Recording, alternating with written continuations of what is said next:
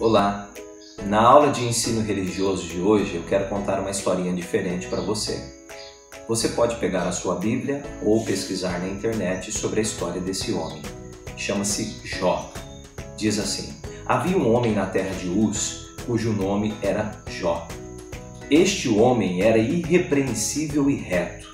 Ele temia ao Papai do céu e se afastava do mal. Sete filhos e três filhas nasceram a ele.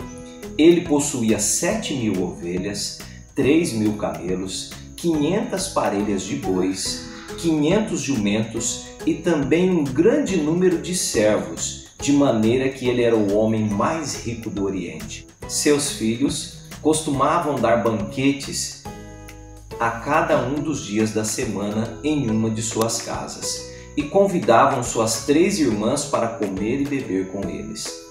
Depois de um ciclo de banquetes, Jó os chamava para serem consagrados e então ele acordava cedo e apresentava ofertas ao Papai do céu. Pois Jó dizia: Meus filhos podem ter pecado e blasfemado contra o Papai do céu em seus pensamentos. Isso era o que Jó fazia o tempo todo. Então, Jó tinha medo de que seus filhos houvessem errado e por isso ele conversava todos os dias com o Papai do Céu a respeito de seus filhos. E no final do ciclo dos banquetes, Jó também pedia para o Papai do Céu perdoar os erros dos seus filhos. Então, a tarefinha de ensino religioso é essa. Você vai ler a historinha de Jó e depois que você se familiarizar com ela, Jó e seus filhos, você vai pedir ao Papai do Céu pelos seus irmãos, pelos seus familiares, as pessoas da sua casa. Ok? Nós vamos fazer um pouquinho diferente de Jó. Jó pedia só pelos filhos, né? Mas nós vamos pedir pelos nossos familiares.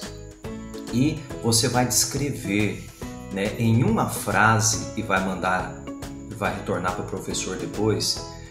Qual foi a sua experiência? Como que foi? Se foi legal? Se foi interessante? Né? Em uma frase, você vai resumir a sua experiência com a história de Jó e com a, os seus, a sua conversa com o Papai do Céu em relação à sua família. Um grande abraço, paz a todos vocês, muita saúde para vocês e toda a sua família.